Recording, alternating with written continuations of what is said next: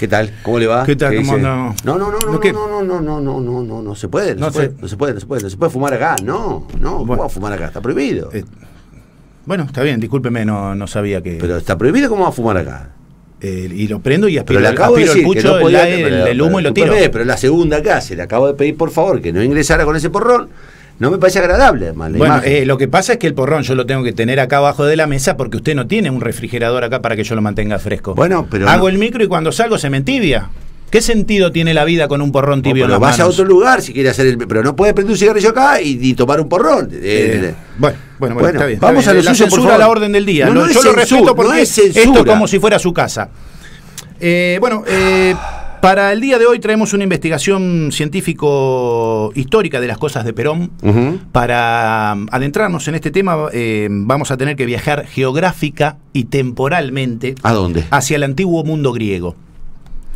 Seguramente usted y muchos oyentes recordarán que ya hemos visitado el Sí, viejo mundo helenístico cuando, Roma, cuando Grecia, hablamos de la historia de Perónidas de Lobos, el primer filosofador, eh, padre del pensamiento griego y maestro de Tales de Mileto. eh, ¿Por qué es importante esto? Porque el, el mundo del pensamiento griego es considerado como la piedra basal de la filosofía occidental Sí, de la democracia también. ha sido, por supuesto, ha sido eh, enormemente influyente para la lengua, la política, los sistemas educativos, la filosofía, las ciencias y las artes. Por eso Claro. es que Bon Suárez siempre interpretó que la grandeza y la gracia de Perón deberían haber estado presentes ahí en el momento en que se producían esas cosas tan Pero, magníficas. vea, ¿por qué creía que la grandeza de Perón, o sea, por, qué no Porque le da- es un investigador pero, Bueno, peronólogo. bien, pero, ¿Qué eh, quiere pero que crea? la pero- grandeza de Balbín. Pero ¿por qué no puede ser la consecuencia del pensamiento griego genuino? Porque ya hemos comprobado, eh, no podemos estar todo el tiempo volviendo a aclarar el prólogo. Ya hemos comprobado que Perón se ha materializado físicamente en distintos tiempos de la historia. Para nosotros, los peronistas, es un verdadero orgullo saber que el primer pensador que encendió aquella llama que continúa iluminando al mundo hasta nuestros días fue Penor- Perónidas.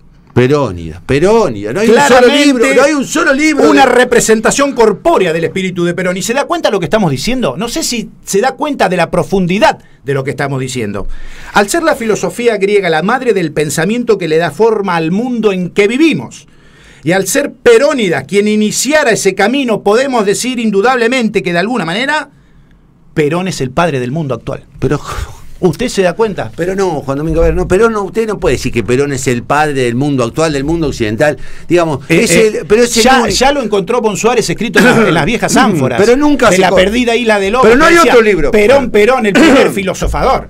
Pero no hay otro libro que hable de eso, no hay ningún texto que hable de eso. Yo fui a los libros, a los libros. Pero usted va a los. Yo ya. eh, fue- ¿Visitó la, la tienda que yo le dije de libros? ¿Esa es la que está atrás del Carribar? ¿No fue? Pero ¿cómo la- pero- Bueno, eh, eh, están en lugares estratégicos. Eh, bueno, eh, le decía que el, el tiempo de lo que se considera el mundo antiguo griego es eh, muy amplio en cuestión de años, porque va más o menos del 1200 antes de Cristo hasta el 146 antes de Cristo, que es la conquista romana de Grecia. Eh, quiero aclarar esta situación temporal, ya que el ser humano de la actualidad tiende a pensar que la normalidad del paso del tiempo es de otra manera, ¿no? Mm. Piensa eh, con, con la lógica del tiempo de Twitter y dice, no, no puede ser. Quizás Platón se hizo famoso porque eh, puso Sí. hashtag Sí, sí. la cueva, Hashtag, hashtag hashtag. la cueva y lo, y lo Platón. retuiteó arroba Aristóteles. No es así, no es así. La vida no se maneja con los tiempos de Twitter. Eso es algo que el Homo Facebook de la actualidad tiene que aprenderlo. Eh, le decía que científicamente está comprobado que el ser humano actual es el primate más pelotudo de los últimos 10.000 ¿Cómo años de la historia. ¿Cómo pelotudo? ¿Cómo pelotudo? Es así, y se toma ese periodo porque anteriormente no hay datos. Pero yo eh, mm, me arriesgo a- a esbozar la teoría de que si el hombre de las cavernas fuera como el hombre actual, todavía estaríamos ahí adentro. Porque el tipo de ahora, ¿qué hace? Se tira y le manda, le manda pantallita, le manda, no quiere ir a tal lado, quiere a la panadería, no, a ver si en Instagram está la panadería. Usted dice que No. seríamos iguales.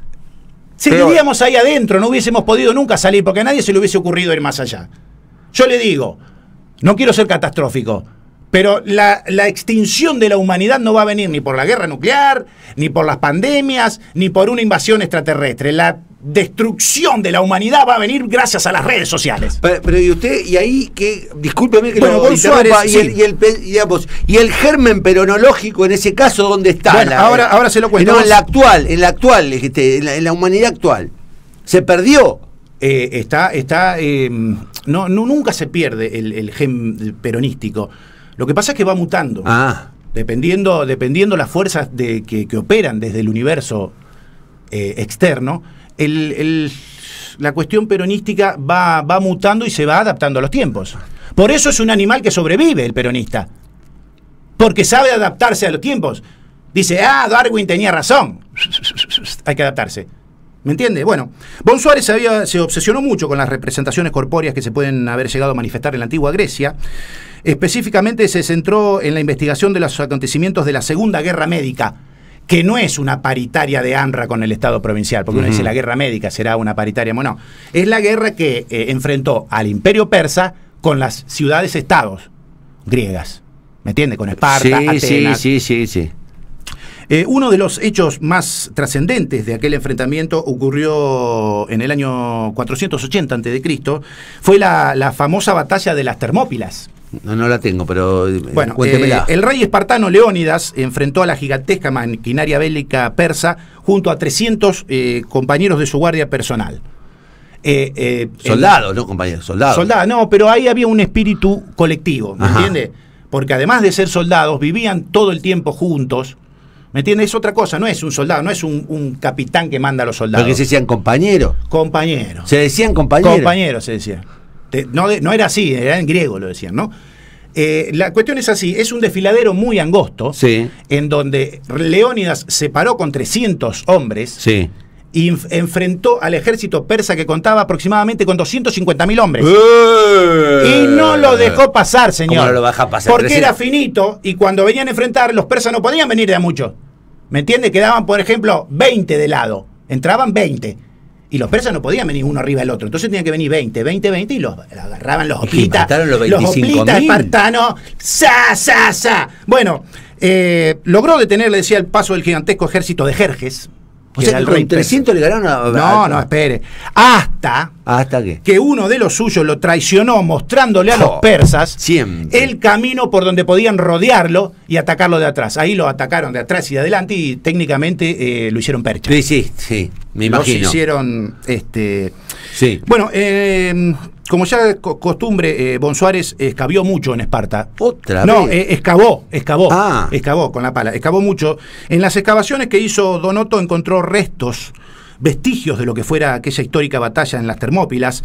Encontró los restos de los soldados espartanos y hasta el cráneo del famoso rey Leónidas I de Esparta. Según explica Bon Suárez en su libro La peronización del mundo helenístico antiguo, del Aquellos 300 hombres que acompañaban a su líder en el enfrentamiento habían sido miembros de un grupo muy cercano al rey, sus compañeros más cercanos, la mesa chica, se diría hoy. Incluso logró dar con la tumba de quien fuera el ingrato que le mostró el camino a Jerjes para vencer a sus propios El conciudadanos. Judas. El Fiates era el nombre de esta El persona. Fiates. El Fiates. Encontró, eh, fue descrito por Heródoto eh, como un triste burócrata enfrentado con la comisión interna que manejaba la escorta personal de Leónidas. Bueno, luego de la derrota de los soplitas espartanos, el ejército de Jerjes avanza sobre Grecia, prácticamente sin ningún tipo de, de que le puedan hacer frente, digamos, Ajá. hasta que llega a Atenas, Sí. Toma Atenas, saquea, destruye Atenas. Los ciudadanos atenienses habían se habían rajado, porque Sí. si viene este no va a dar masa, se habían ido. Eh, le decía que, bueno, es ahí donde ingresa en nuestro relato eh, la figura de Temístocles. Temístocles ¿Quién es eh, un experimentado general ateniense que comandaba la flota griega. Era el que estaba a cargo de la flota griega. Este hábil militar elaboró una estratagema para convencer al rey persa que era conveniente atacar a la flota griega en la isla de Salamina. Sí. Dice, mira, están allá, están en Salamina. Si vos vas Están en Salamina, No. no. en Salamina. Ah. Están en Salamina. Si vos vas ahora le da masa. Y este, bueno, eh, lo que más quería Jerjes en la vida era romperle el tuje a los griegos de una vez, Claro, una vez por sí, todas. sí. Y bueno, la historia ya es conocida. Al entrar eh, a luchar contra la flota griega, entra toda la flota persa que tenían unos barcos de gran porte. Sí. Y también le pasa algo similar que lo que le pasó en las Termópilas. Al ser el, tan estrecho el canal donde tenían que ir a atacar, quedan sin maniobrabilidad. Ajá. Y hábil- hábilmente Temístocles empieza a atacarlo de los costados y lo hace por bronca. Lo, hace- lo hizo pelota Lo ¿en hizo, serio? lo hizo pelota. Ahí, este, bueno, eh, violín en bolsa, Se vuelve. Jerge y se va. Y tenemos, bueno, eh, tenemos la arenga, porque esto lo encontró eh, Michael Jackson Ramírez, ¿Quién es más? el ayudante de Otto Bonsuárez. Pero el, el ayudante. Un, eh, un día que lo ¿Y qué levanta, lo levanta a Otto Bonsuárez de una zanja donde había terminado por una noche. Bueno, una ¿En qué noche. año fue esto? Del, del, del- del- del- ¿en qué año? Esto, esto es una, una investigación del, del año 67. 67. 67. Eh, bueno, y cuando lo levanta, eh, se da cuenta que Bonsuárez tiene pegado un pedazo de cerámica en la espalda. De cerámica. Claro, porque él había caído a una zanja muy fuerte y había como hundido incluso el piso. Estaba de- del nivel del suelo, Sí, estaba sí, unos claro, 30, se 40 hundió, centímetros más. hundió en el barro. Entonces hizo succión con ese pedazo de cerámica y cuando lo sacan se dan cuenta que es eh, un pedazo de una vasija en donde figuraba la famosa arenga de Temístocles antes de la batalla de Salamina. Compañeros. dice, Compa- ¿no? Compañero. Decía compañero. Dijo compañero. Compañero, decía la. No, no en castellano, porque ellos hablaban en griego, griego antiguo hablaban, no el de ahora, es otro. La arenga empezaba con. co- Sí, con Compañeros. O algo así. La única verdad es la realidad. Por cada uno que caiga de nosotros caerán cinco de ellos. Cinco por uno no va a quedar ninguno. Y le dice, los mira le dice, este emperador viene a sacarle todos los derechos que ustedes conquistaron, como la democracia. Eso decía. Eso le dijo. La democracia está en peligro. Nunca lo dijo esos imberbes en ningún momento de la, del. No, no, no, no, porque, porque los este, tenían mucha barba. Ah. los persas tenían mucha Ah, barba. bien, bien, bien, Incluso Él, él dice, estos gorilas no nos van a sacar lo que nosotros conquistamos. En alusión al cuerpo de inmortales. Ah. Los inmortales eran la guardia personal del rey persa, que tenían unas máscaras Claro. y todo un atuendo negro que los hacía parecer una especie de bestias. Y ahí, ahí le dice. Ahí le dice, gorila. estos gorilas no nos van a cagar a nosotros. Y bueno, y tenemos eh, unas fotos, si usted ¿Cómo quiere. fotos? No son fotos, en realidad esto está hecho con el programa Pocho, que es el, el programa operativo de construcción hist- histórica de objetos. Esto Sí. se trabaja con el superordenador Evita. Sí. Y bueno, eh, logramos, eh, a través de los cráneos que fue hallando Bon Suárez, logramos eh, la reconstrucción holográfica del verdadero rostro de Leónidas. De- del, del, Del rey Leónidas, el rey de Esparta que participó en la batalla de las Termópilas. El que escribió la arenga. no, es Temístocles, que viene después. Este es Leónidas, de Esparta. Temístocles es de Atenas. Eran las dos ciudades Ah, más bien, importantes sí, sí, de Grecia. Esparta ¿no? y sí, Atenas. Este era un hombre que daba la vida por sus compañeros. No sé si tenemos la foto número uno, el rey Leónidas de Esparta. El rey Leónidas. ¿Pero ese es Saúl Ubaldín? Vio que parecido, yo pensé no, no, lo mismo. No, no, no, no. Es, Yo pensé lo mismo. Pero no puede, no puede decir que no es un hombre que ha luchado por sus compañeros. Pero ese, ese vendría a ser.